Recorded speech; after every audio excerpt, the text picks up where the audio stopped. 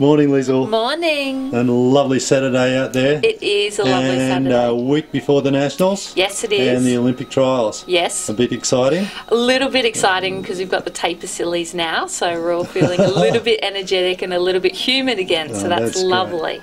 Would you um just fill us in a little bit on uh, how you were travelling? I know you came in about, uh, about uh, seven, ten days ago, Yes. and you'd had a pretty serious ear infection. I had a very serious ear infection, which for a swimmer is very not ideal, and it was lingering for about two weeks. I had three courses of different antibiotics, and they were not clearing it up. So Alan cleared me up nicely. Uh, after a couple of treatments, it cleared up. All my sinuses went away, and uh, the cough went away very quickly.